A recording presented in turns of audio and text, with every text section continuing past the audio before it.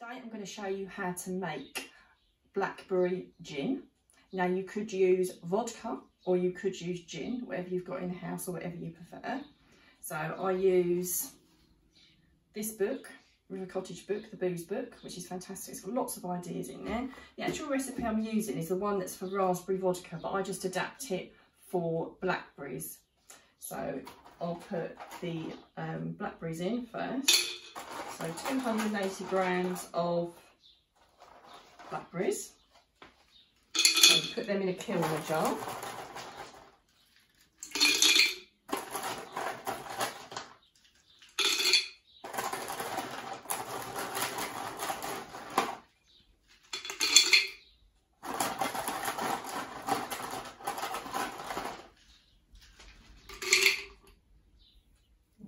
Then you get sugar and you put 140 grams of sugar.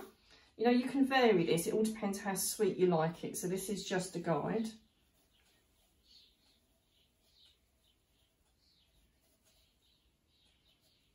And then all you do is fill it with vodka or gin. I'm going to put the whole 70, uh, the whole bottle in. Um, well, the, re the recipe only says 600 ml, but it is, like I say, only a guide. So you just pour it in.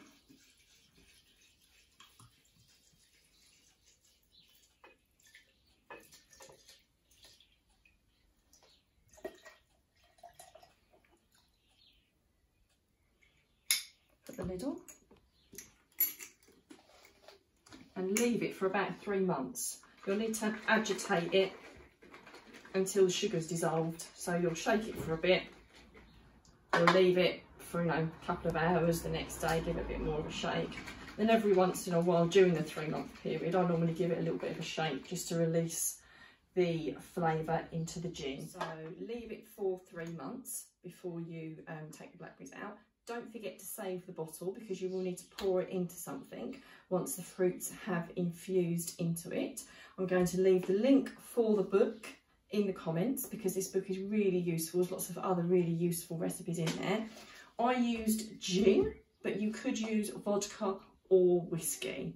If you use whiskey, only put blackberries in it. Don't put a different fruit in it because I've never tried that and I don't know how it would work, but it's really good with, with blackberries and whiskey too.